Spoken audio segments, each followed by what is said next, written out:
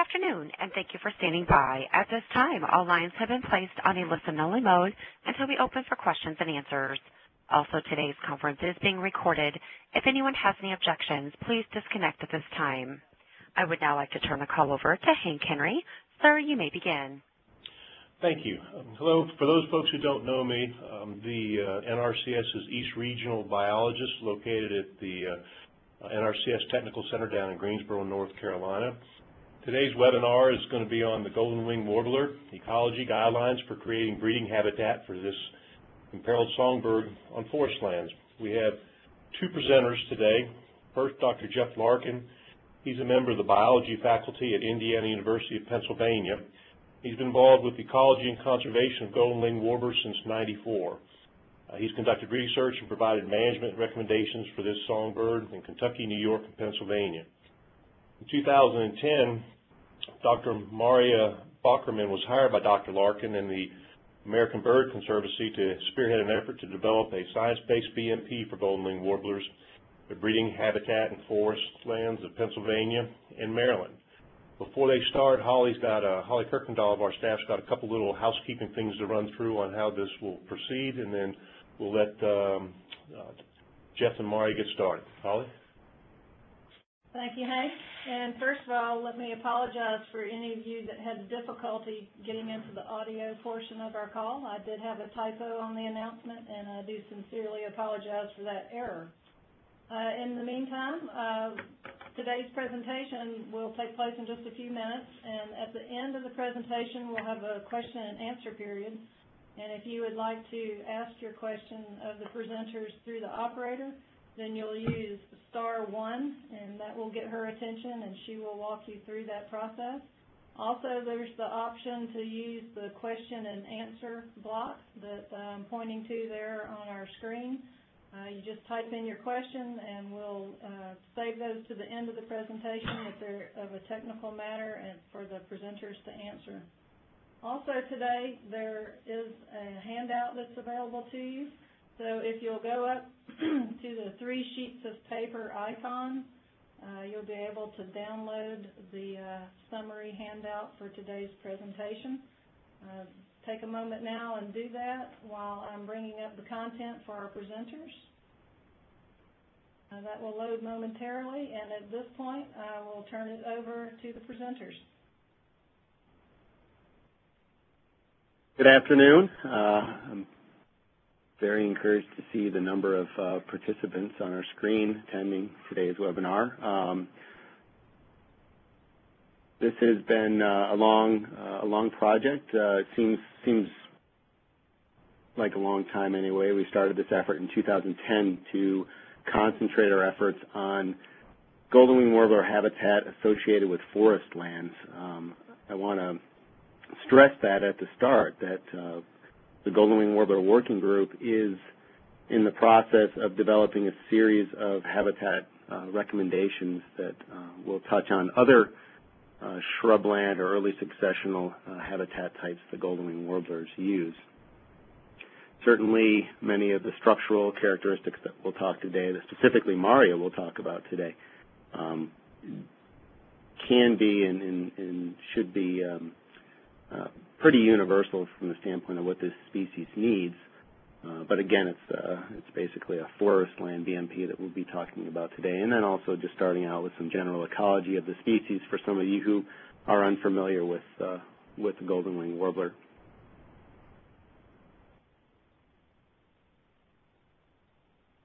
Okay, so there's Marja and there's myself. More on that picture of me wearing the Golden Wing Warbler hat in uh, Colombia uh, from 2008 in a moment. Uh, but uh, wanted you to, to get an idea of who we were and what we looked like, uh, connect a face with a, uh, with a voice. So here's the star of, the, of today's show. This is uh, both a male and female golden wing warbler, male pictured on the right, uh, left of your screen, Males and females look pretty similar to each other. It's a small songbird. It's a neotropical migratory bird. It means it spends most of its time in uh, tropical environs, uh, uh, far away from our cold winter weather. Um, females look pretty similar to males, except they're just a little bit muted in their colors, just a little bit duller. currently, uh, so why is the golden wing warbler such a, a hot topic of in the conservation world these days? Well, its numbers have been dropping uh, quite rapidly over the last several dec decades. And uh, recently in 2010 it was uh, petitioned for listing under the Endangered Species Act that uh, petition uh, was viewed as, as having uh, warrant and now it is continuing through the endangered species process with U.S. Fish and Wildlife Service.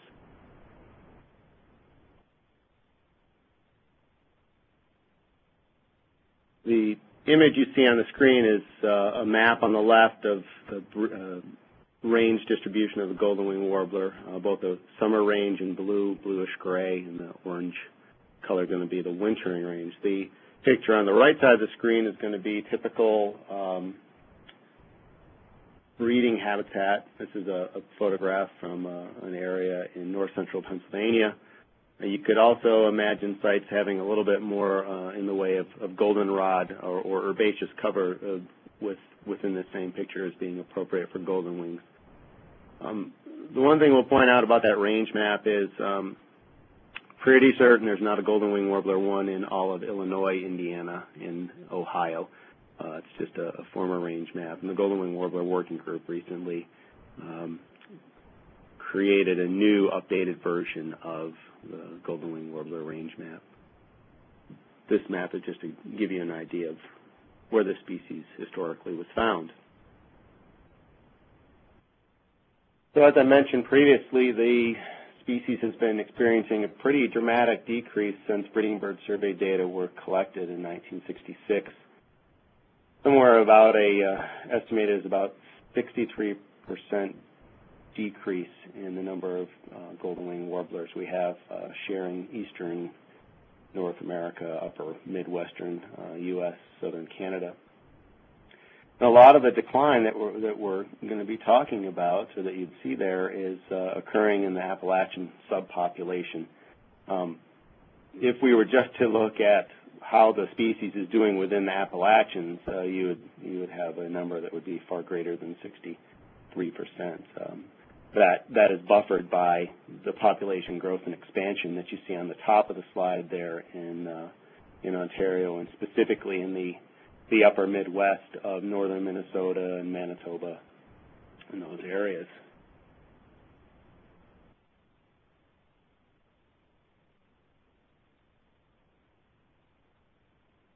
This is a map that was recently created as part of the Golden Wing Warbler Conservation Plan, part of um, Golden Wing Warbler Working Group's effort in the last, uh, oh, since 2008 to um, develop a, a, plan that is essentially going to guide, uh, hopefully, the reversal of uh, this decline.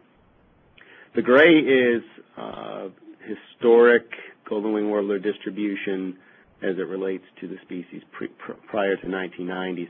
The purple was um, was the range that the species occurred uh, within when when the 90s came around, basically when I started first working with the species. And since that time, the the green uh, in the upper Midwest, southern Ontario, and the red polygons that you see for Appalachia really uh, depict the breeding distribution of the species. So you can see that we've had continued contraction and now we have an actual separation between the upper Midwest, southern Ontario, and uh, Appalachian populations.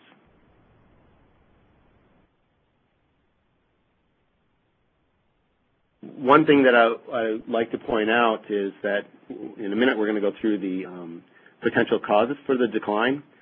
Uh, the one thing I want to point out while we have these maps up is that something that we have to take into account. It's uh, absolutely imperative when we're talking about managing golden wing warbler for golden wing warblers is a close relative and hybridization with that close relative, the blue wing warbler. And the blue wing warbler, uh, just as the golden wing warbler has been doing, has, has been expanding northward, and that expansion occurs uh, on the heels of golden wing warbler range expansion northward and westward. What is interesting about the Appalachian populations is where we have golden wing warblers throughout the Appalachians is uh, is basically in areas that have already um, been through this this blue wing warbler hybridization front. So the, the front has has passed uh, quite a while ago. Still, we have golden wing warblers occurring in that those particular landscapes. Um, that that's a big question mark as you get up into the uh, southern Ontario and upper Midwest, where the blue wing warbler is currently uh, expanding. Once uh, that line passes through an area, such was the case in Appalachia, many areas that historically had golden wing warblers uh, became dominated and uh, exclusively uh, occupied by blue wing warblers.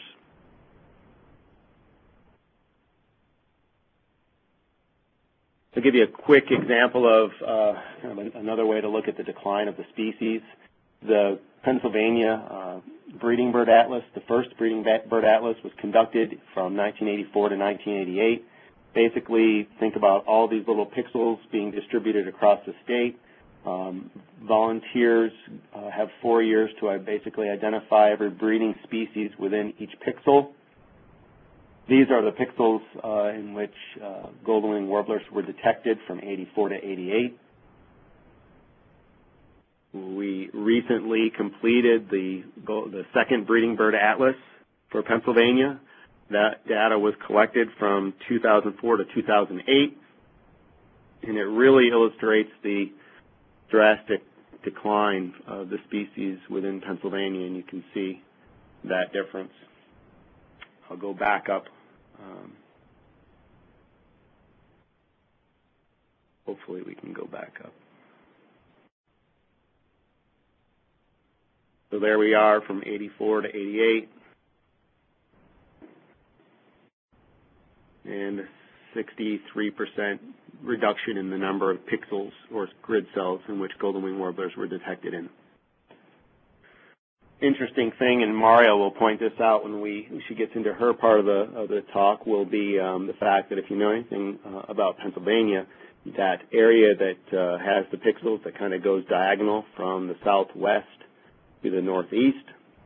That encompasses what's called the Allegheny Front and um, parts of the Pennsylvania Wilds in north central Pennsylvania, all the way over to uh, the Pocono regions. It's Pennsylvania's by far most forested portion of the state.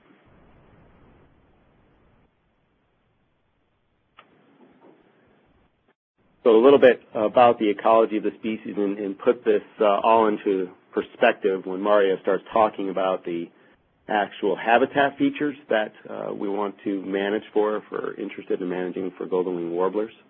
She'll also be talking about the various uh, associated species, uh, both game and non-game that uh, benefit.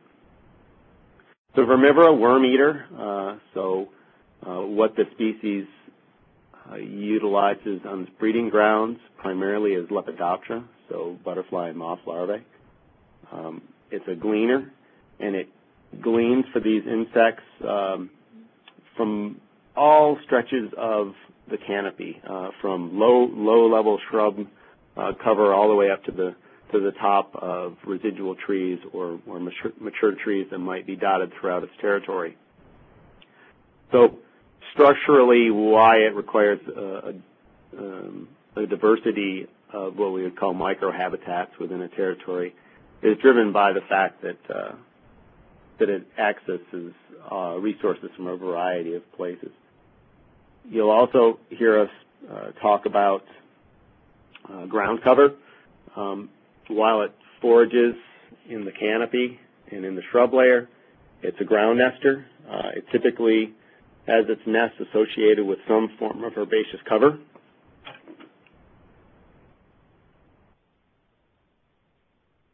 Depending on where the species is found, uh, as far as within its geographic range. You can find it in areas that uh, have um, uh, sedge hummocks, such as what uh, John Confer studies in southeastern New York, where you have these red maple tussock swamps, uh, such as in the top right corner. Uh, they'll also use goldenrod quite often as the substrate for their nests.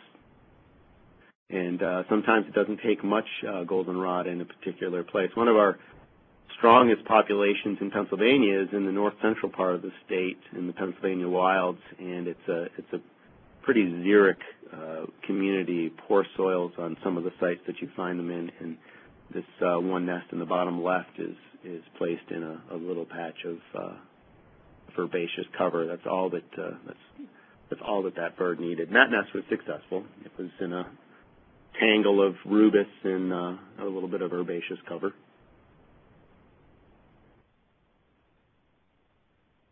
One of the issues associated with the species or one of the factors that drives the decline is the fact that, you know, unlike that robin that nests on your gutter like 18 times a summer, uh, the golden wing warbler shows up in mid-May. It's a single brooded. It's uh, it's going to make one attempt. Uh, if it's successful, it's done. Uh, on to uh, the post-nesting uh, phase of the life cycle. If it fails early enough on, uh, they'll try a second attempt. Uh, but uh, generally, we'll have fewer uh, eggs in that clutch, um, and and only uh, only if they have enough time to pull off a second nest would they ever attempt that.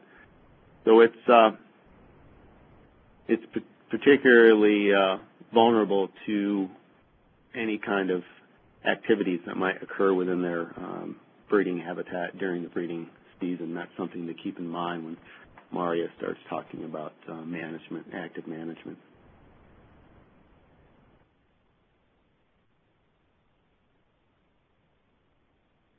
So the species occurs from North Georgia all the way up to southern Manitoba. And so, so obviously the types of plant communities that you find across that huge geographic range are not going to be the same. Uh, I went through a quick, I went through a, a quick bunch of uh, books that I pulled off my shelf associated with, um, you know, bird, you know, bird guides and, and atlases from various states, and just pulled out some examples of the kinds of places that golden wing warblers had historically or still are uh, found to inhabit during the breeding season. And you can see that it's a, a quite a, a, diverse group of, of habitat types from North Georgia all the way up to Manitoba. The um, historically the species would have been found oh probably in places like Beaver Meadows and the edges of Beaver, Beaver Meadows. This is John Confer searching one of his plots in southeastern uh, New York. Uh, quite a bit uh, shrubbier uh, behind uh, Dr. Confer there where it says Beaver Meadow. It's going to have a little bit higher amount of shrub cover back there, but certainly the areas he's uh, he's looking in is, is a territory, and you can see um, directly in front of Dr. Confer there's a, a large residual tree and a and a little shrub cover a little bit of patchiness that, that Marja will be talking about. It's a, it's a little bit more open than normal, but it can be that way if you have a small uh, herbaceous opening, such as uh, beaver uh, meadow complexes, perhaps surrounded by a, lots of forest edge. This is another one of uh, Dr. Confer's sites. This is just a small red maple swamp forest, so you see a whole lot more uh, vertical structure in this particular view. uh, occur in uh, alder tamarack swamps in uh, Minnesota and Wisconsin. This again would have led to some potential uh, historic habitats. Certainly post-fire communities would have been important to golden wings uh, historically, and they are gaining momentum in certain states as far as using prescribed fire to manage for golden wing warblers. We're certainly doing that here in Pennsylvania. And Dr. Buehler uh, down in Tennessee has been studying the, the effects of prescribed fire on golden wings uh, in, in reclaimed mine lands. Insect damage. This is uh, this is a little elevational band of uh, dying trees or dead trees uh, from a gypsy moth outbreak, followed by a drought. So two years of gypsy moth in this image, followed by a year of severe drought which uh, stress those trees to the point of mortality. Uh, there's about a thousand acres beyond that ridge that's already been salvaged, uh, salvaged that uh, exists in uh, early successional state, only about uh, one year post salvage. Huge early successional complex there. Uh, historically, wind damage would have been important as well to the species. So I want you to be thinking about your habitats that you have available to you and, and how you can mimic some of these uh, more natural disturbances. So emulating natural disturbances is is going to be something that we would uh, we would hope you could be able to to take into mind when you leave here. Uh, this is a tornado uh, path that uh, on the left-hand side that uh, is for Delaware State Forest, an area that we studied uh, in the development of our BMP uh, that did have golden wing warblers. Most of that tornado swath has gone through the successional stages and now is a little bit old for golden wings, but it certainly formed the backbone of uh, golden wing warbler numbers that have uh, moved into uh, adjacent timber harvests. We'll again talk more about that in a bit.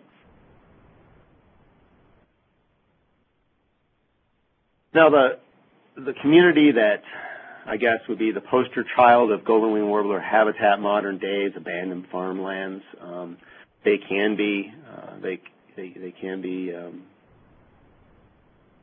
quite populated with golden wing warblers. Uh, it may not be um, the most suitable uh, as habitat because uh, it's typically occurring in more open landscapes. It's typically occurring at lower elevations. And we know that uh, these are the areas that typically have golden wing warbler populations replaced by blue wing warbler populations in the long run.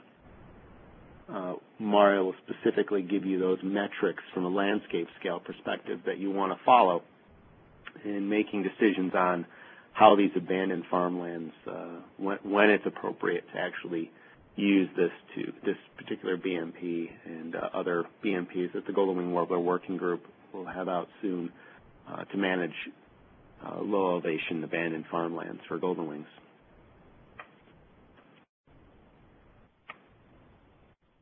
Claim mine uh, edges, certainly in Kentucky and Tennessee and even here in Pennsylvania and West Virginia, species is associated with mine lands. The thing to consider here, I'm going to try to use my little, uh oh hold on.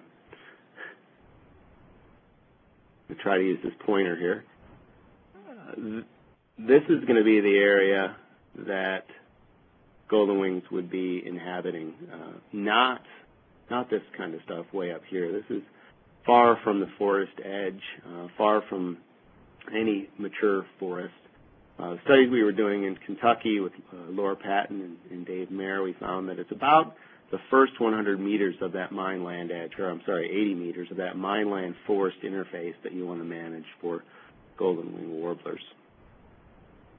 Which leaves a lot of other open lands for those of us that are um, also concerned with uh, grassland species as well.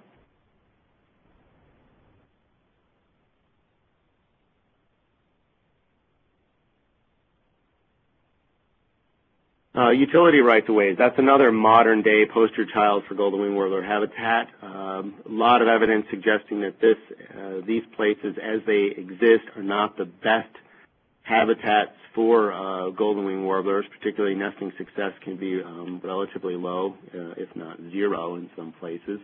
Uh, high amounts of predation occur in these places. And that's, you know, if you look at that, it's got a really hard edge. Um, we also know that under current regulations or perceived regulations that uh, there's this big move to eradicate uh, all shrub and tree vegetation from underneath power lines. And that obviously has negative consequences for long-term persistence of golden wing warblers in, in, those areas. It's going to be a challenge for folks to, to go out and, and work um, with utility uh, folks as well as landowners that have these adjacent to their properties and, and um, find ways to, to better manage areas adjacent to power line right-of-ways or, or any kind of utility right-of-way. Uh, there's a lot of potential there if we do it right, for sure. And, and I ask you to just kind of think back of that slide a few moments ago and think about what that utility corridor looks like compared to the historic tornadoes that we know golden wing warblers would have used. And, you know, their tornado swaths are just a little bit dirtier. They're just uh, they just uh, don't have those hard edges associated with them. Uh, the damage kind of is diffuse as you go from the, the, the center of the tornado path to the to the edges. So you have a, a little bit more of a, a feathered, um, less abrupt edge, and a whole lot of mess in between there, right? in uh, a lot of uh, efforts in public lands particularly, and it might be a great option for private landowners who only have, you know, they don't have 3,000 acres to manage. They have that 120 acre farm, and they uh, they want to go in there and continue to have early successional habitat on their properties. Uh, this is uh, certainly one way that it can be done. We have work, uh, ongoing work in Pennsylvania looking at uh, mechanical shrubland um, maintenance and enhancement of golden wing warbler habitat.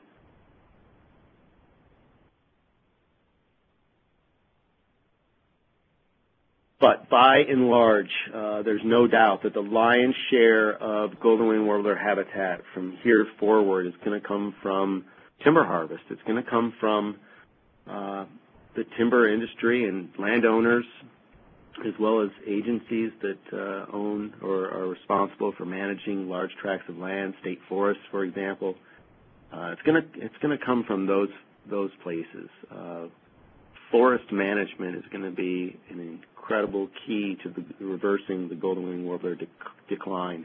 Um, how that management is done is uh, is what Mari is going to be talking about. The things that we need to be taking into account in order to to have uh, timber harvests that are both uh, productive for the landowner or the manager, that meets the objectives from both a economic perspective, but also is there to help sustain golden wing warbler populations and other early successional species, uh, woodcock, grouse, Appalachian cottontail, white-tailed deer, uh, just to name a few.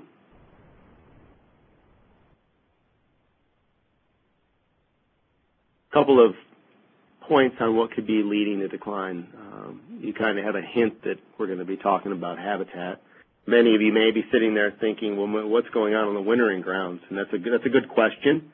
Uh, we could do all we, we possibly can here in North America where they spend about three months of their year. Uh, but uh, if uh, they head down to South America and Latin America where they spend the better part of eight months out of the year, uh, it's, uh, it's just not uh, going to work out no matter what we do here in the breeding grounds. Uh, 2008, and you saw that picture of me earlier wearing that golden wing hat. That was uh, the result of a group of us being invited down to uh, Bogota, Colombia, and San Vicente to to meet with the coffee and cacao industry, talk about songbird conservation, uh, learn about the coffee industry and the cacao industry, uh, learn what can be done on their end and what couldn't be done on their end. Uh, if we look at the return data from a huge range-wide breeding study that we've been doing uh, throughout eastern U.S. as well as up into the, the Midwest, if we look at we banned uh, male golden wing warblers, and then uh, they have these unique bands on their legs. And then the next year, uh, we go back out to those same areas and we try to recite them. We look at the, those what we call return data, well, we have an incredible number of individuals coming back uh, year after year um, to uh, to nest in the same areas, which kind of hints to the fact that uh, at least for some of these populations, their wintering habitat must be still pretty good if uh, if they're able to uh, come back from from South America, make that journey. So, uh, wintering habitat. A, uh, we have a whole group of other conservationists that are working uh, to conserve wintering habitat. But it really looks like uh, it really looks like they're doing well in some places.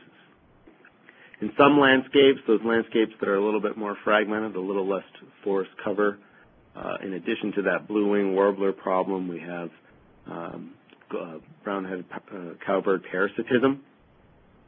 It's uh, in, in uh, study in New York. It was found to, to not be a driving factor, but it certainly did contribute uh, to uh, reduce nesting success, or at least reduced reproductive output. You heard me talking about this uh, golden wing warbler, blue wing warbler, this whole hybridization thing. If, if you're unfamiliar with uh, with that, here is the kind of the, the phenotypes or the plumage patterns that can result. The blue wing warbler are going to be in the top right-hand corner, the golden wing warbler in the top left-hand corner, if you have a pairing between a male and a female, golden wing and blue wing, or blue wing and golden wing, whatever direction, um, you can get any of those hybrids in the bottom left. Uh, you can get back crosses between pure parents and hybrids, and you can, you can get a lot of variation in what you see, including uh, Lawrence's warblers. So a lot of uh, a lot of variation. Um, add a little bit of complexity into our work. We just couldn't go out there and listen for a golden wing warbler song. We actually had to make sure that if we documented a vermivora, we actually had to go and, and look and see what the plumage pattern was so that we could determine that, yeah, the data that we are providing or, or using to inform uh, our models uh, actually uh, were the result of golden wing warblers. Um, so huge I stress that huge factor we must consider when managing for habitat, uh, for golden wing warbler habitat, is the fact that um, blue wing warblers uh, historically can move into an area and displace uh, golden wing warblers in a matter of years. We had sites in Kentucky where we had golden wing warblers for four, uh, for, for two and a half years of the study. They were golden wing warbler only sites. Four years later, at the end of the study, uh, we had zero golden wing warblers left at those sites. It had totally been taken over by blue wing warblers. And that was on mine land habitat. So uh, can happen pretty rapidly. By and large, most folks agree that uh, what's first and foremost uh, priority to stem the loss of, of the golden wing warbler and stop these declines is is the fact that we we lost a lot of uh, early successional habitat. We, we obviously had unnatural levels of early successional habitat at the turn of the 1900s with landscape clearing, but that's all uh, that's all came back to mature forest in many cases. And if it's not mature forest, it's been developed or it's in uh, it's still in, in agricultural development. So um, habitat loss and the creation of habitat is, is going to be key. And then you have to take that added level of complexity there and make sure that you're making habitat in places that has minimal uh, potential to attract blue wing warblers. Uh, so there's a few levels of complexity. Now this is uh, Delaware State Forest data. This is in the Poconos, north northeastern part of the state of Pennsylvania.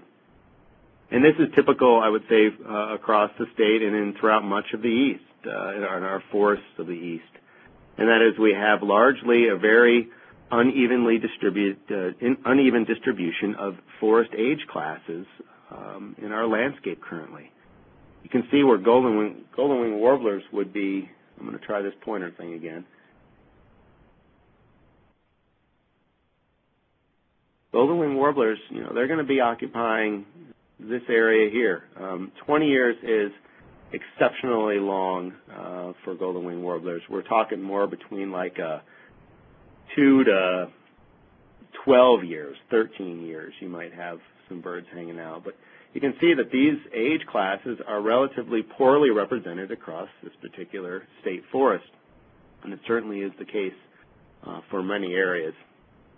The key to this, uh, you know, to our whole our whole dilemma really, and we think about this. Another species I work on quite a bit is uh, is the cerulean warbler which is on the other end of the of the habitat, the forest management uh, spectrum. So, uh, how do we how do we manage our forested landscapes, keeping in mind the needs of both early successional and late successional species?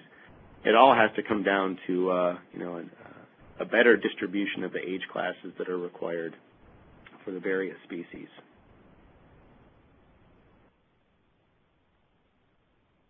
So many researchers agree that the conservation of the species is going to come down to our ability to, to move with some speed while we still have some remnant populations in our Appalachian landscapes and in some of our areas of the Midwest that have already started to see declines in the species.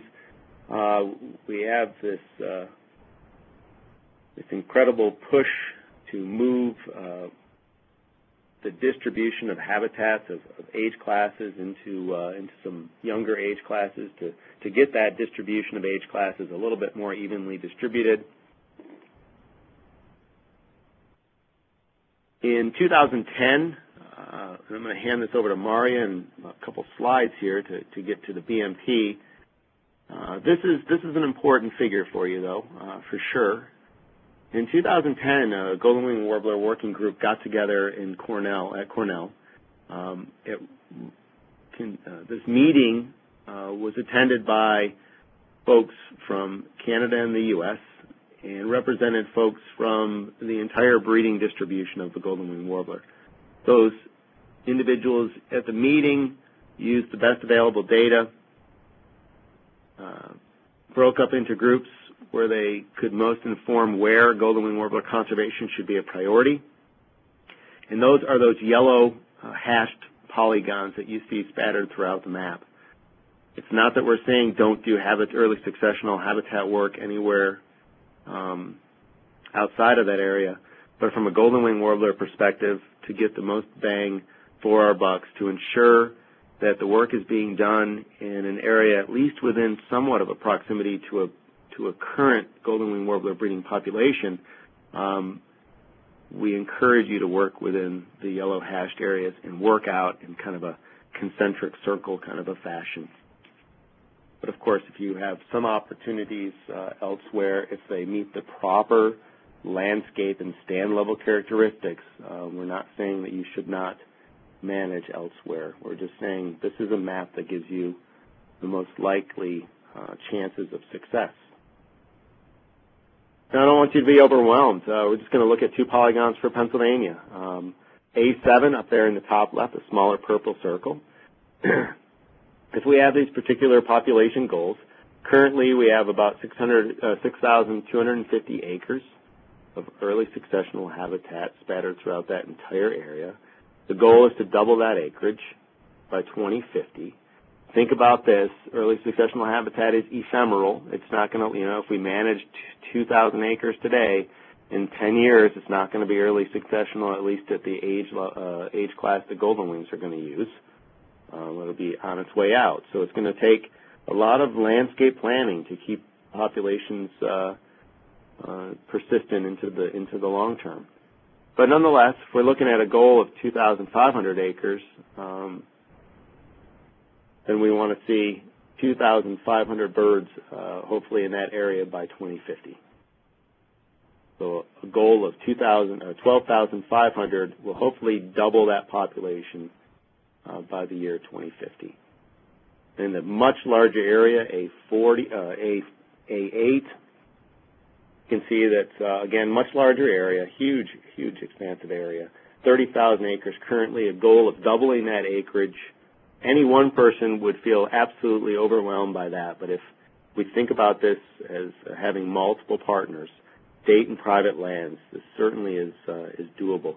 The key is going to be how you do it sustainably uh, over the long haul to make sure that you maintain these acres of habitats in our landscape. Uh-oh. Keep hitting the wrong button when I try to go down here. There we go. And finally, uh, in 2005, we created this guide that was uh, basically just a little pamphlet that this is the Golden Wing Warbler Working Group created this guide that was to inform those folks that wanted to try to manage for golden wing warblers on their properties uh, what what they could do. And I always think it's interesting. You know, our last paragraph of this document uh, starts out with that underlined text. This is many recommendations are generic and based on expert opinion until more detailed information becomes available. And that uh, that is really 2005. That's really when the Golden Wing Warbler Working Group began building up its momentum. Uh, 2008, it was awarded uh, the National Fish and Wildlife Foundation funding to start a range-wide breeding habitat study. Um, several of us uh, were able to find additional funding to enhance that work in, in our respective states and provinces.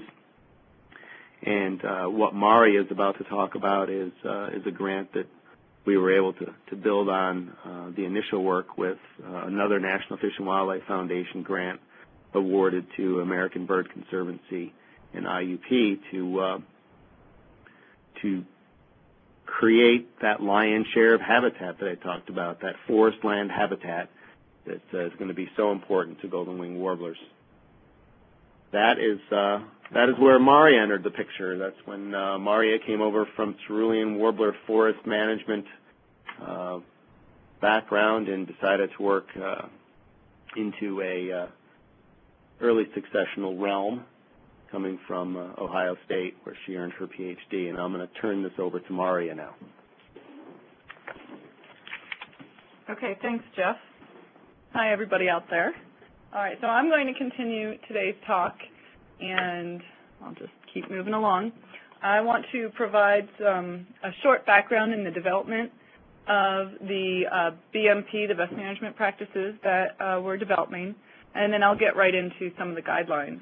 But the goal, again, of this project was really to understand uh, what habitat breeding golden-winged warblers used across a range of timber harvest prescriptions in Pennsylvania and Maryland, and then we characterized those stands used by golden-winged warblers to present guidelines to forest managers interested in providing breeding habitat for golden-winged warblers, okay, while instituting these timber harvests. And uh, we use past and current research to inform these guidelines, and we, we certainly anticipate that this BMP is the first in a series, as Jeff mentioned, that will address management of other early, succession, early successional habitats used by golden-winged warblers. Okay, and right, right off the bat, I want to um, point out that although this BMP focuses on uh, the creation of habitat for golden-winged warblers, these guidelines will, will certainly benefit a suite of species that depend on early successional habitat. Uh, many of these species, as you see pictured here, are experiencing population declines as well and are of high conservation concern. And in our surveys, we take that into account and document other species using these stands as well. Uh, these are not only uh, non-game, but also many game species as well, like you see there, the woodcock uh, and grouse and deer. So Jeff already uh, showed you uh, the Pennsylvania Breeding Bird Atlas maps. I just want to put them side by side for you to view, uh, again, to highlight the areas of Pennsylvania where golden, golden-winged warblers persist on the landscape because this is where we also concentrated our research efforts. We really wanted to work in, the, in those strongholds uh, where golden-winged warblers persist. And again, for, for Pennsylvania, uh, these areas correspond to the Appalachian Plateau and Ridge and Valley provinces, which are both characterized by not only high forest cover, but high elevation as well.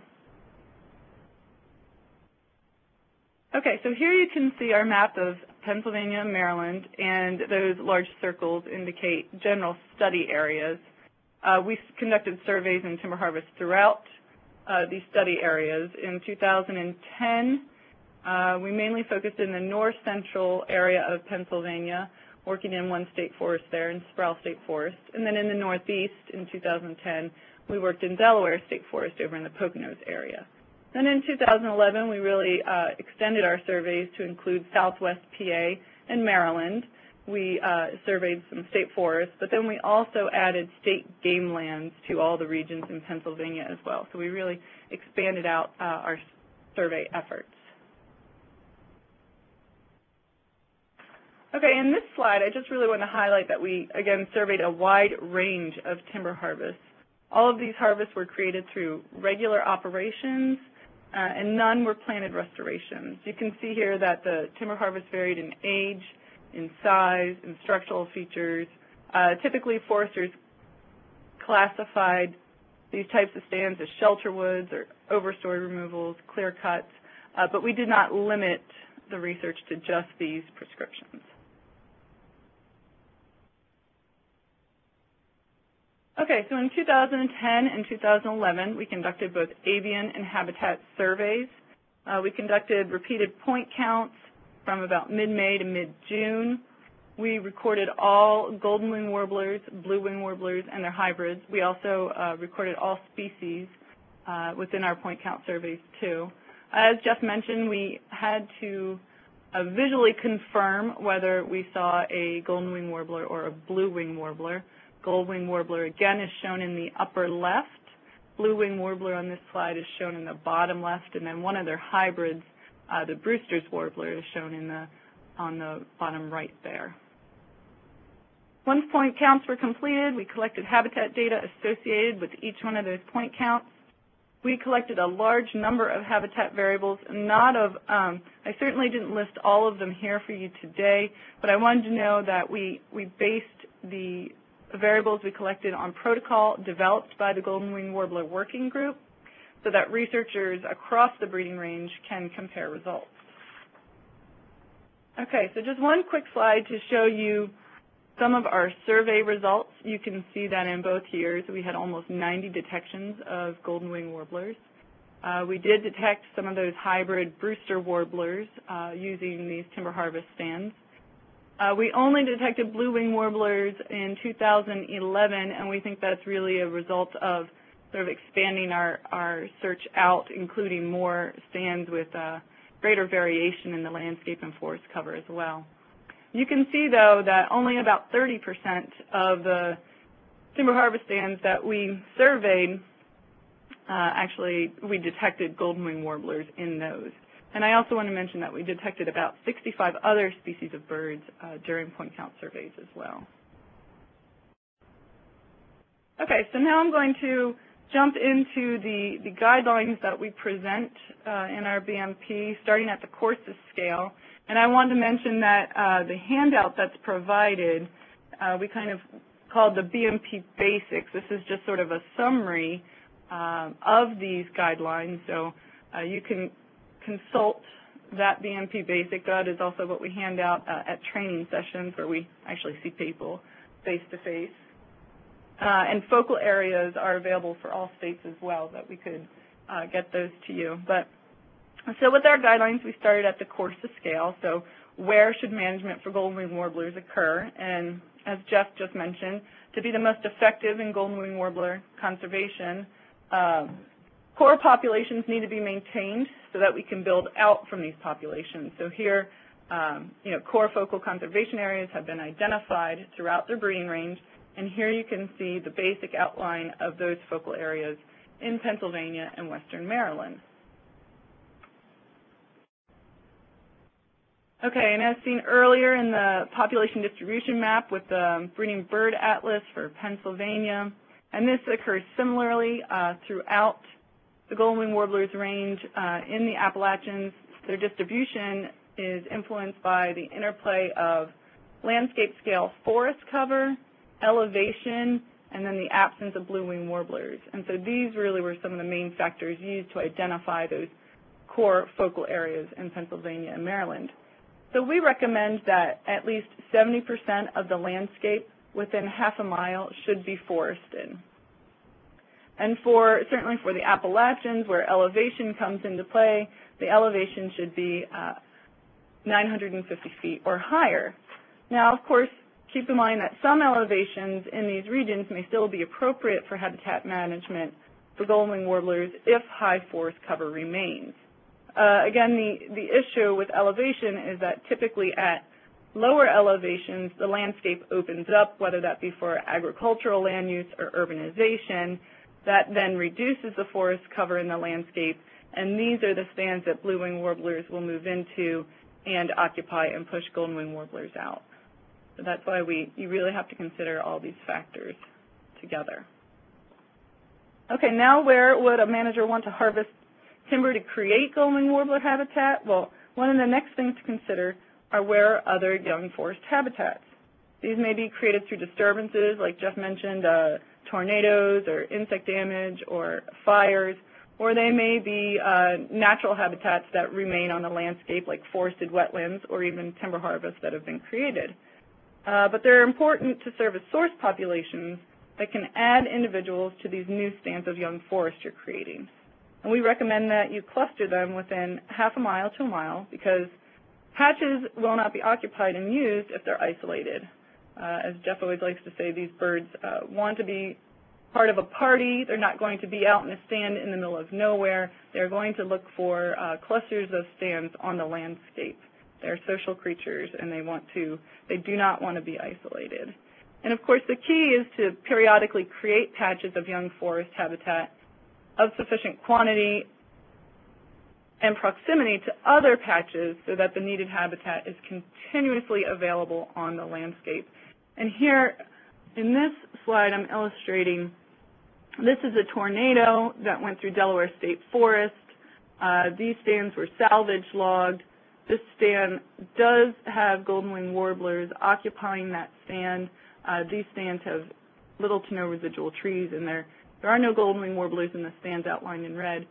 But then not far away in the landscape are these timber harvests, okay, which also have golden wing warblers now occupying those stands.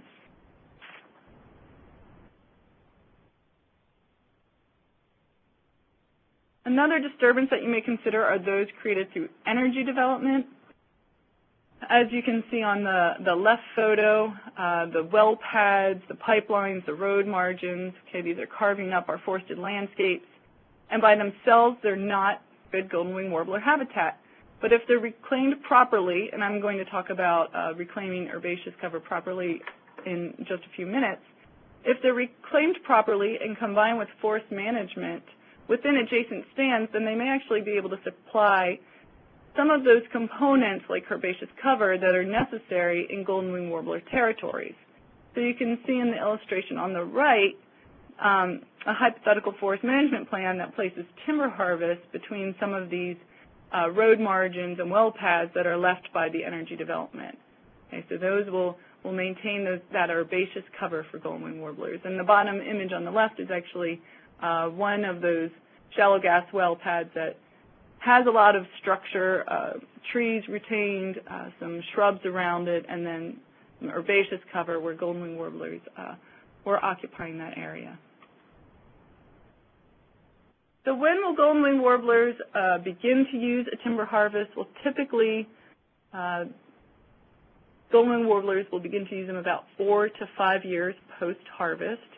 Uh, it just, those harvests typically need some time for that structure to regenerate until about 10 to 12 years post-harvest. And this, again, um, is when each land manager is the expert and they know the site quality because certainly some stands will be ready for golden wing warblers to use earlier and others um, may fall out at 10 years, but if site quality is low, you may have golden wing warblers occupying uh, those stands until maybe 12 years, maybe holding out in a log landing area using those spots uh, where herbaceous cover is retained.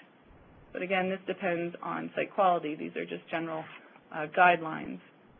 Now you'll hear me talk about the importance of canopy trees or forest edge throughout the rest of the talk. And remember that, well, canopy trees are important for golden wing warblers because uh, they use them as foraging, as we heard from, from Jeff, but they also are weak singers, so they use them as singing perches as well. Those golden wings, those males have to get up there in those canopy trees uh, to really get their song uh, to spread across the stand. So they're weak singers, and they really rely on these uh, mature canopy trees. So not surprisingly then, golden wing warblers like to have a forested edge nearby, uh, typically within 250 feet. So you can see this example in this stand, there's even a row of trees left, and this increases uh, the amount of forested edge available to golden warblers that may occupy the stand once regeneration occurs after a year or two. Okay, also adjusting the harvest unit shape can increase the amount of edge, uh, increase the edge to area ratio.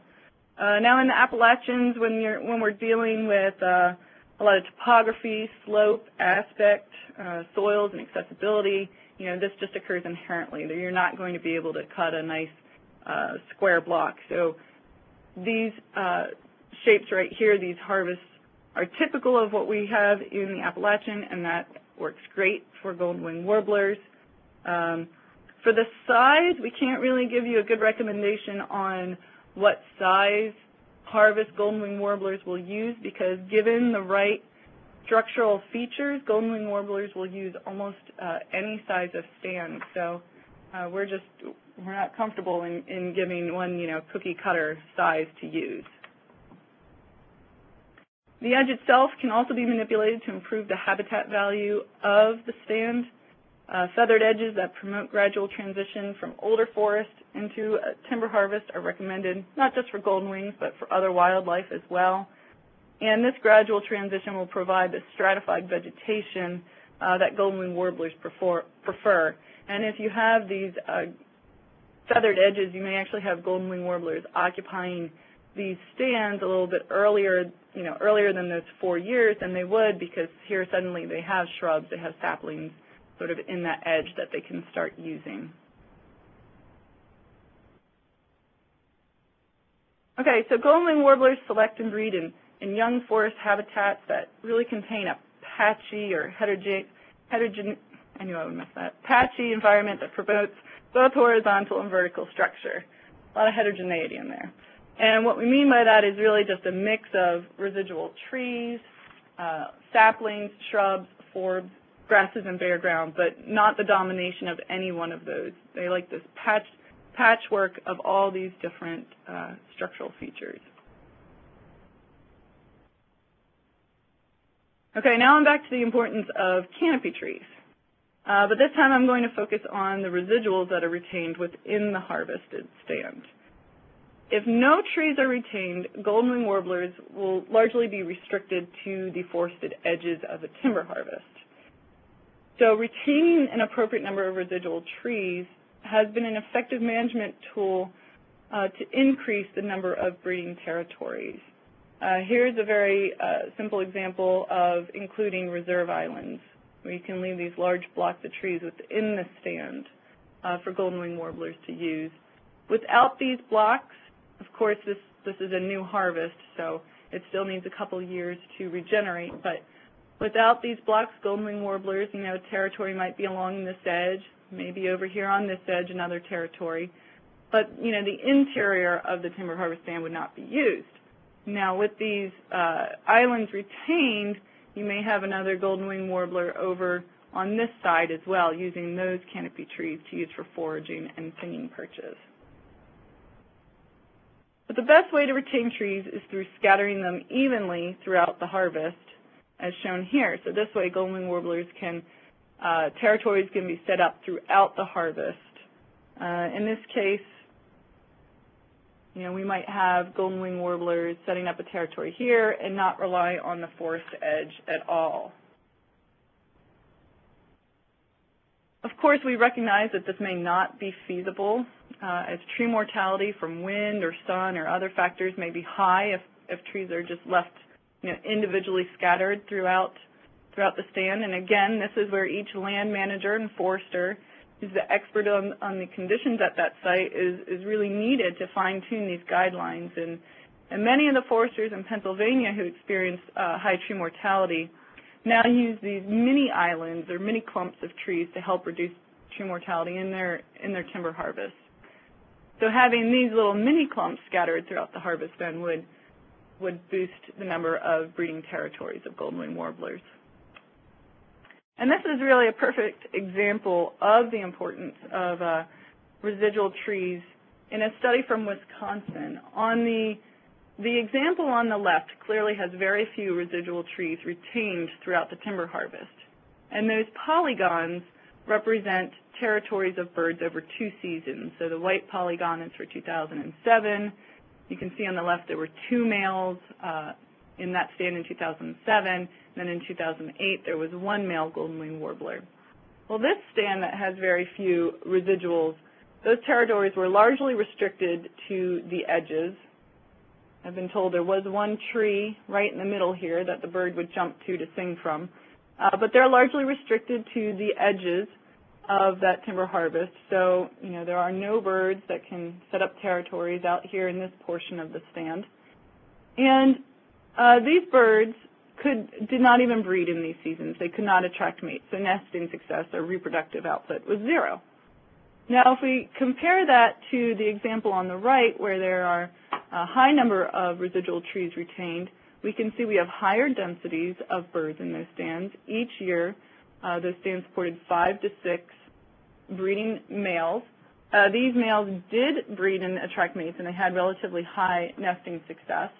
And they were not restricted to the forested edges. You can see, you know, some of these polygons, as, as shown here, is right in the middle, uh, right in the middle of that stand.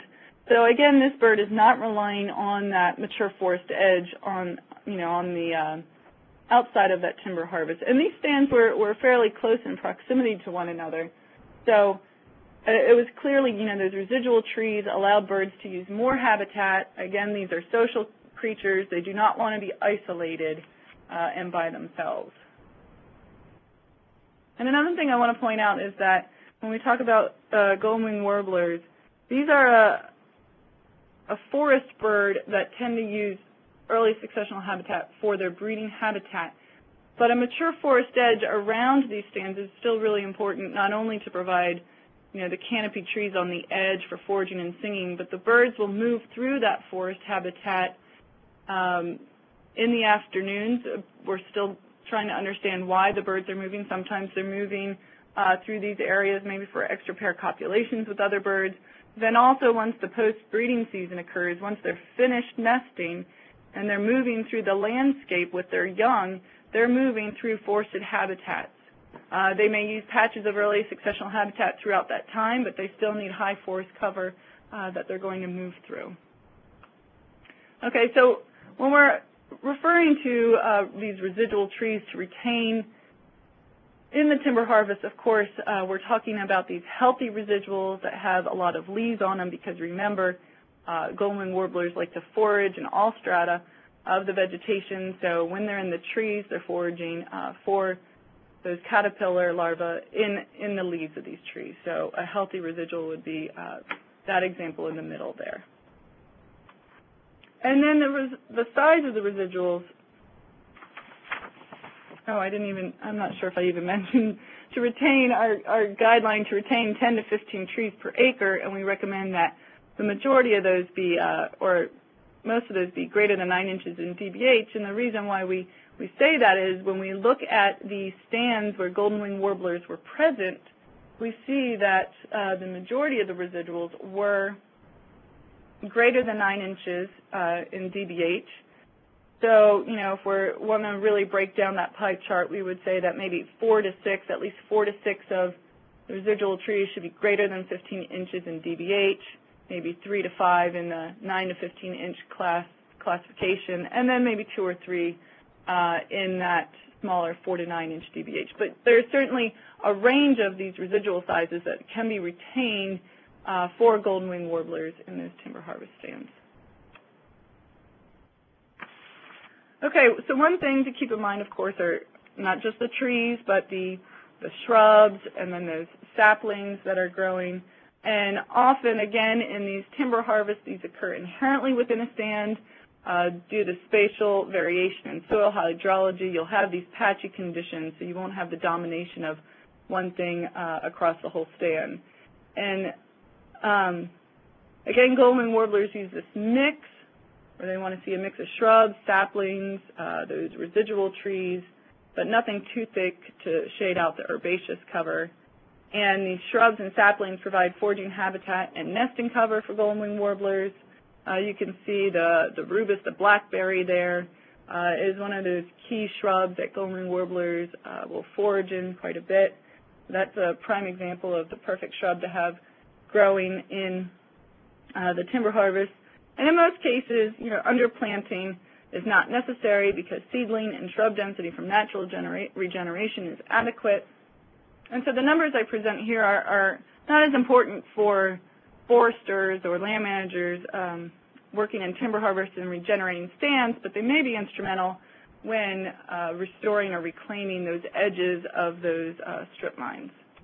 So just another visual example, the uh, stand on the top left there is just too thick. Uh, it's reached that stem exclusion or pole stage, so there's uh, too much canopy cover and the uh, shrub and certainly the herbaceous layer will be getting shaded out. So that's too thick for golden wing warblers.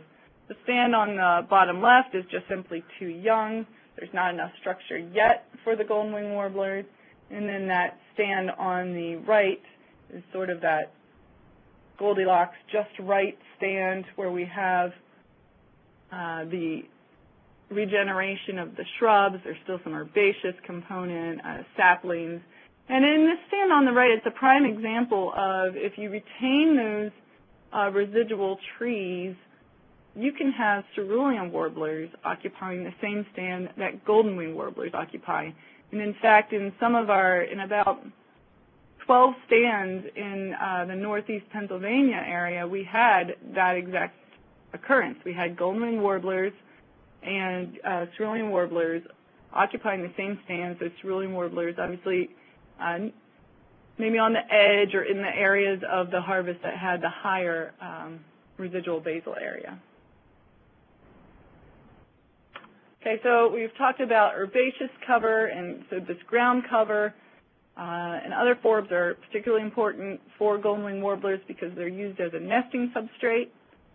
This component can be provided through properly retiring uh, skid trails, haul roads, and log landings. Expensive native seed is not necessary because uh, forbs used by nesting golden wing warblers like goldenrod are wind dispersed and or are available in the seed bank. Uh, we suggest that you use a minimal maintenance approach that will provide the herbaceous cover used by golden warblers, and certainly this cover is used by grouse, turkey, fawn, um, all kinds of wildlife. So uh, just simply grade roads and landings to reduce erosion, feed with plants that establish quickly but will not dominate permanently, avoid using non-native perennial cool season grasses such as red top or fescue, orchard grass, because these will actually outcompete those forbs uh, used by nesting golden wing warblers. Here's a list of a good mix that managers could use. Uh, another forester we talked to simply uses uh, 50 pounds per acre of annual ryegrass. That would be another option. Uh, mulch with wheat or oat straw to prevent introduction of those undesirable plants whose seeds are often found in mulch hay. Okay, so this will provide that herbaceous cover and, and stabilize, right, so we reduce erosion. Okay, and then retaining downwood and, and unique features throughout uh, the timber stands and throughout the landscape will certainly help uh, break up the microtopography and maintain patchiness of vegetation. Of course, downwood is also in, in, has um, clear nutrient cycling and, and wildlife benefits as well. Uh, establishment of some shrubs uh, like rubus, which I just mentioned as important uh, foraging substrate for golden warblers. Establishment of those shrubs will be promoted by, by leaving harvested tree tops where songbirds will perch and deposit seeds. Forgot to. But of course, there are, are tools in addition to timber management uh, that will both enhance and extend the suitability of these uh, early successional stands for golden wing warblers. Uh, for example, when deer populations approach or exceed carrying capacity, uh, they, can they can inhibit regeneration. So in these cases, increased deer harvest uh, via hunting or deer deterrent fencing may be necessary. Uh, fire is another important tool uh, that may be used to prepare stands for regeneration or it can be used to extend suitability by maintaining that early successional structure and maintaining that herbaceous component. Okay, and then we'll be integrating our um, golden warbler guidelines with those provided with the American woodcock BMP because there's clearly tremendous potential to manage for both and many other species as well in areas of overlapping ranges.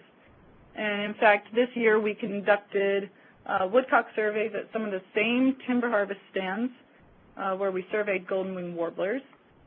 Uh, we found that woodcock were using, of course, many of the same stands and selecting a lot of the same features that golden wing warblers are selecting.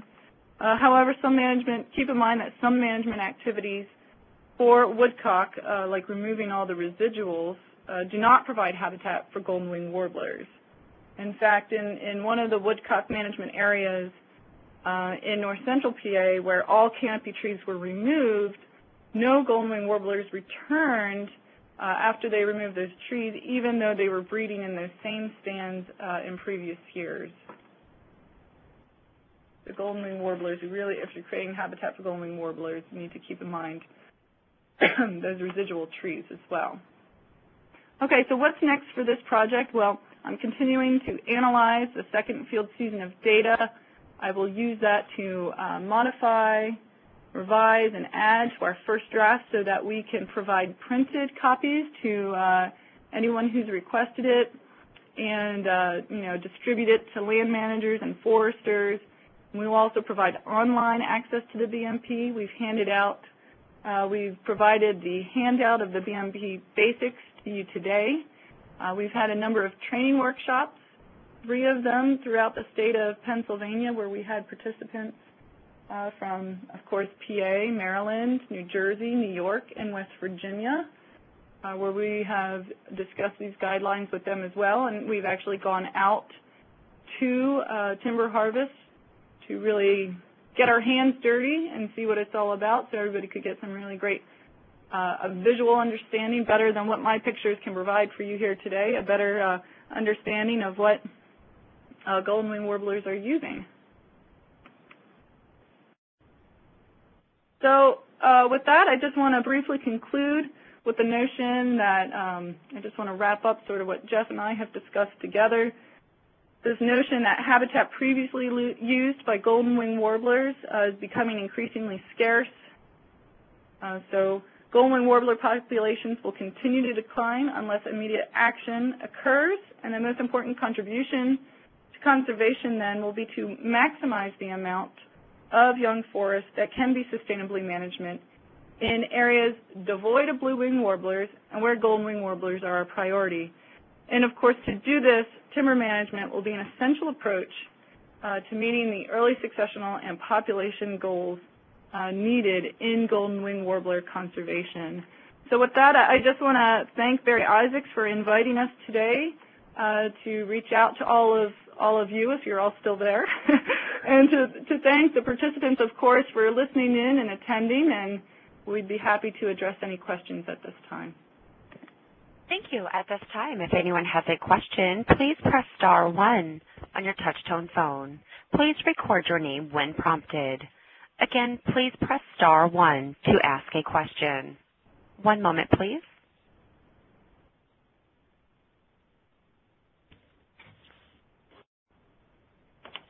While we're waiting for a question to come in through the operator, we have had several questions come in through the Q&A, and I'm going to read one of those out and ask our speakers to respond to that. Uh, the first one is from an NRCS conservationist that is located in the northeast Wisconsin Marinette County focus area. And the question is, what can that person do at the local area and would it be appropriate to try and form a golden warbler working group there?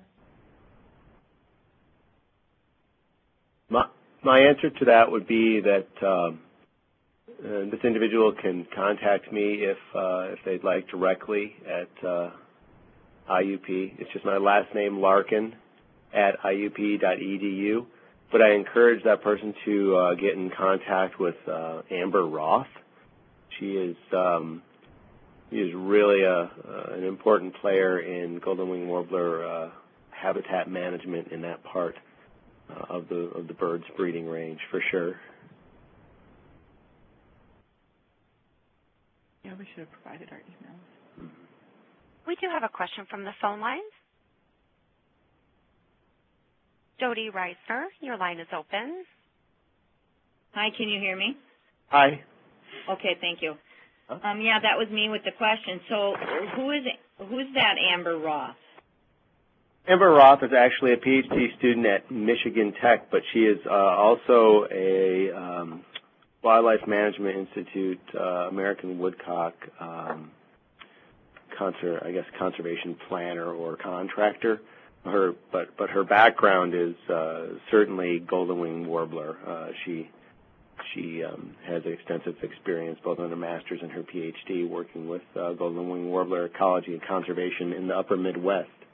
Um, she uh, she is one of those one of those folks that uh, uh, firmly embraces the the integra- uh, integration of, of golden wing warbler and uh, American woodcock and other young forest dependent species.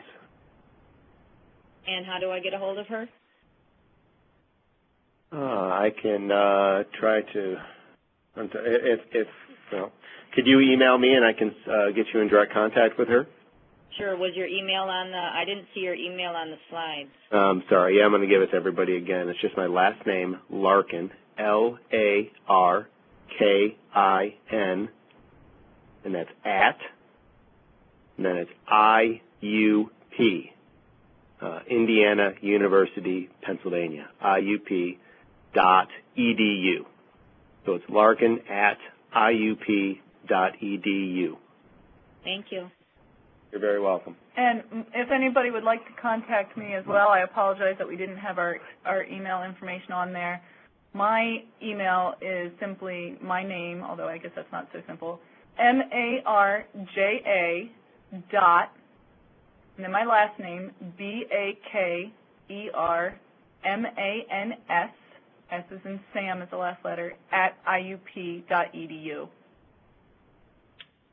Anybody would like to follow up with a question with us uh, at a later point in time, please feel free to do so. Thank you. As a reminder, if anyone has a question or a comment, you may press star one. Again, star one if anyone has a question or a comment. Okay, in the meantime, I'm going to continue to follow up with some of the questions that have come on online. And I think, uh, Jeff, this was during your presentation, you had a graph of forest age class, and there was an area that was called other zones. Uh, it was in purple, and I think the question is, can you describe other zones in that graph? And to follow up uh, with that question, uh, is there a minimum sized opening or patch cut that is needed to get the desired habitat? Okay, I'll uh, I'll start with the the easiest one to answer, and that is um, every forest district uh, has some unique stand types that they code that they all lump together. I do not particularly know what uh, that particular coding was for Delaware State Forest. Um, uh, sorry that I can't provide that information. Now, with respect to the the size of a cut, um, this is this is a particularly uh, challenging question because, um, as Marja stated in her talk, um, you know there isn't we, we have never really found uh, a what is too big, a what is too small, cut and dry scenario. What what is clear is that the species will occur in relatively small areas, a couple acres in size, if in fact those areas are in close proximity to other uh, young forest types. Um, if if you have a patchwork of young forest types, maybe that are small in scale, uh, you can have birds. Certainly, I have seen upwards to 40 to 70 acre clear cuts uh, in Sproul State Forest that are only maybe four or five miles from a lot of golden wing warblers, a thriving population, and uh, and not had a single bird in that particular stand. And it was because it was isolated uh, completely by nothing more than you know 80 to 100 year old mature forest.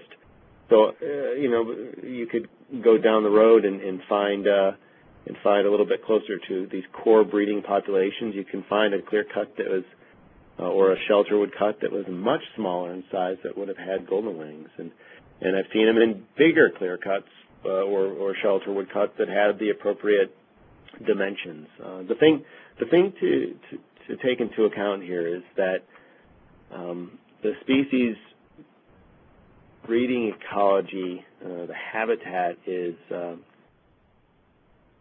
it it's pretty particular um, in that it needs these these primary features. It needs that forest landscape. It needs those residual trees or basal area, whatever you like to, whatever metric you like to work in. It needs that well-developed shrub layer. It needs that herbaceous layer. You know, it's just not going to be uh, a, one characteristic um, stand level, say, say, for example. It's just not going to be a within stand characteristic uh, answer to any of these questions you have to think about this from a multi-spatial scale. You have to think about it from a landscape perspective, the stand perspective, that within stand perspective. All of those variables have to come into play. And I hope that, um, and I think Marja said that she's put the BMP basics uh, online. It's available for you to download until our uh, our bigger document is made available, which will be sometime um, in early December. Um, that, and then it'll be followed by one that's uh, integration with uh, Woodcock uh, BMP, so a combined young forest BMP. but uh, again, I, I wish I had that magic, you know, number and range that I could provide folks, and it and it is. You know, I'd be lying if I said this was the first time we've been asked this question. We have been asked this question a lot, uh, right uh, right up there, ranking with uh, what is the perfect residual basal area uh, to be left in clearings. And I think I see. Uh, let's see. I think I see a question here now that's um, Shauna Shaw's question about uh, how wide of a feathered edge should be. Uh, also, is there uh, tree? Oh, predator perches in regard to residual trees being left in clearings. The predator perch is one of these uh, phenomenon that I have um, yet to find a scientific article that uh, suggested this is the case. Yes, I have seen predators sitting in perches in clear cuts, um, but I also know that uh, that these species co-evolved with each other, and there were always uh, you could see that tornado slide, lots of snags and standing uh, and standing broken off trees for which predators could perch in. Um, if you provide all of those other characteristics, if you provide a good mix of herbaceous shrub, you know, vertical structure, horizontal structure, uh, this is uh, is not something that you need to be concerned about. I'll go out there and say that. The other thing is um, the vast majority of predation uh, for golden wing warblers from a nesting perspective is not uh, raptors. It's uh, it's actually things like chipmunks and and uh, garter snakes and black rat snakes. Those are your main primary um, predators in those systems. Um, not going to be uh, predators. You need not worry about the predator perch.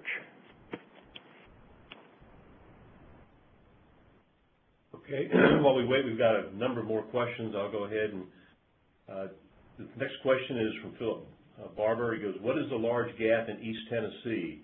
This was on the distribution maps you showed. Also, have you considered recommending Virginia wild rye as a plant in uh, recommended list of plants?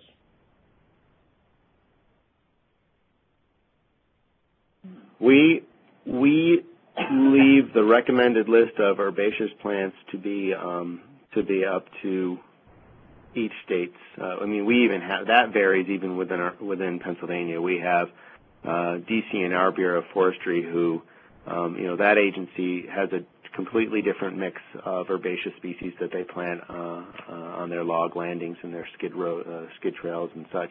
Um, that differs from uh, the Game Commission's mix. Uh, the the thing I want to point out there is that a lot of the species we want are going to be in the seed bank. Um, you, you you just need to stabilize that site, uh, particularly if if there's any kind of potential for erosion. Uh, some of the best sites we've seen in these timber harvests are sites that uh, were stabilized with some kind of annual herbaceous cover, and now they just look like uh, you know a goldenrod um, basically a goldenrod dominated patch, and and that's uh, that's really what we should be shooting for. Okay. Next question. Can there But- be too much, I'm sorry. uh, but but but any any state should be working um, collectively within you know within its within its own state and, getting its opinion getting opinions from various uh, various folks to as to what they want to uh, to plant. Go ahead. I'm sorry. No, that's okay. Didn't mean to cut you off. Uh, next question is, can there be too much down wood left on a site? For example, if a clearing is taking place in a conifer stand where cut trees and branches leave a lot of res- residual wood covering on the ground. Um,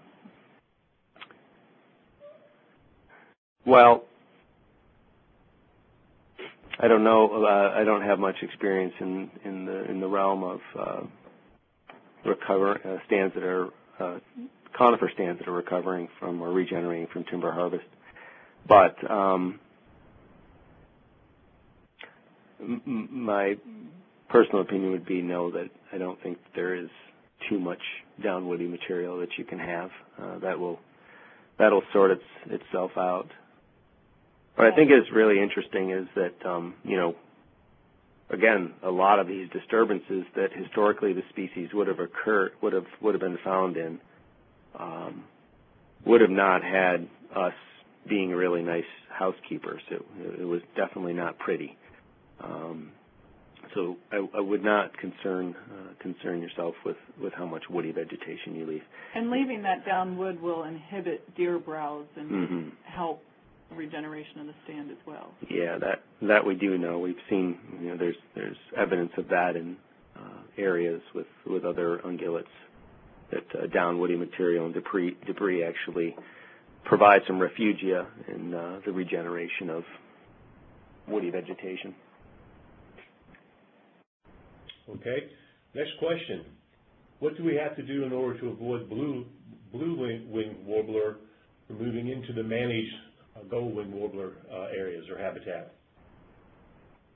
Oh, there's, there's, there's nothing you can do post uh, treatment. You just have to be uh, very careful in where you're going to um, spend your efforts and your time. You want to identify again those landscapes. We we we try to dis, we try to give you a starting point. The Golden Wing Warbler Working Group, with all of those folks getting together for three days in uh, in August of 2010, and using the best available knowledge we had out there to identify and delineate the focal conservation areas for each state and province of golden wing warblers breeding range. Um, we took into account blue wing warbler um, uh, occupancy in that particular exercise when we delineated those those conservation areas. Um, you know, there's going to be a little bit of on the ground work you want to do, and, and you don't need to do this on your own. Uh, remember that uh, just about every state has a breeding bird atlas that has been done. Uh, every state has a, a state ornithologist that can help point you in the direction of known breeding golden wing warbler populations.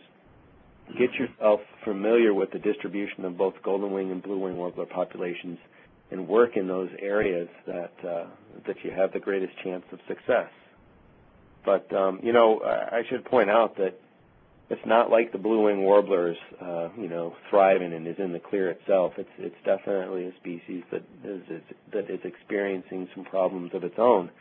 Um, so, early successional work that is done outside of the golden wing warbler conservation area, so long as it does not promote expansion of golden uh, blue wings into golden warbler areas, is uh, is certainly appropriate. But but again, this is uh, this is geared more toward golden wings because golden wings are much more in uh, in jeopardy these days. Okay. Next question. My concern using power line right-of-ways would be use of chemicals on these alleys. How does that affect habitat quality slash management? Our, I guess maybe the question is directed as use of chemicals during the uh, actual um, breeding season. Um, certainly, certainly we have our own experience with that. Just within the last two years, we we have had the unfortunate experience of coming down some of our study areas, some of our power line right of ways that we had been studying over a number of years, only to hear the sounds of motorized backpack sprayers and quads. Uh, spraying large amounts of herbicide during the middle of the breeding season, actually drenching some of our uh, known nests that we had. And um, I mean, it's it's a concern from the standpoint of uh, if work is done during the breeding season. Um, we need to do a better job at, at communicating with utility companies and get them to, to better understand uh, better understand the the one fact that we can't avoid, and that is that um, actions on power lines, uh, even if they're sinks, uh, may may be contributing to, to the species decline. When and, and we have to be a little bit more effective at, at managing these areas. The reality is, um, what happens when when and if the species does become listed as an endangered species? Those power companies, those utility right-of-ways become uh, incredible points of regulation, even more so than what you have now. So it's uh, it's something that we all need to do a little bit better job at communicating with these companies. Okay, speaking of uh, listed species, the next question says, are there conflicts with golden winged warblers and bog turtle habitat restoration management? Especially since bog turtle habitat, you know, they discourage trees and shrubs. Mm-hmm. Yep.